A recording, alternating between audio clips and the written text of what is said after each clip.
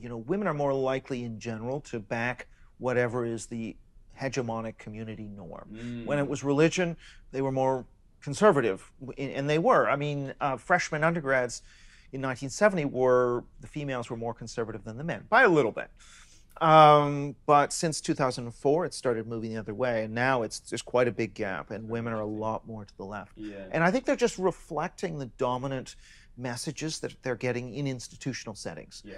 Um, whereas the boys are a bit more rebellious and have always been more contrarian in a way, rebellious, and I think they're getting more from the internet that's countering what they're receiving in school, university, corporations, so on. Yeah.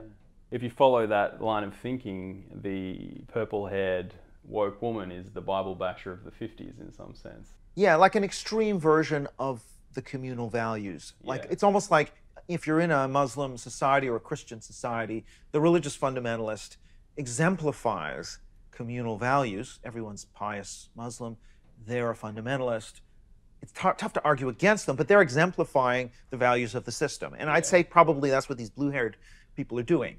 They, they're just exemplifying the values that everyone should have Yes. in the system. I think in the the first person experience is they, they are countercultural in some ways. They in think they're countercultural. They think they're countercultural, and it's it's it's it's a really weird paradoxical thing. But this whole thing, you know, it, it requires a sort of artificial reality. Like it's always 1933 with Hitler about to rise to power. We're always back in 1950s Alabama. You know, It- we or, or one one step away from slipping back into it. So, by sort of ginning up this artificial atmosphere of white supremacy or misogyny or whatever it is, yeah, um, against that backdrop and that sort of fabricated and invented sort of establishment, yeah, um, you're a rebel, right? But the reality is, of course, yes, you, you know, this is just a matter of uh, providing a, bla- a backstory for what is effectively an elite actor in Yeah. a way, or a representative of an elite value system.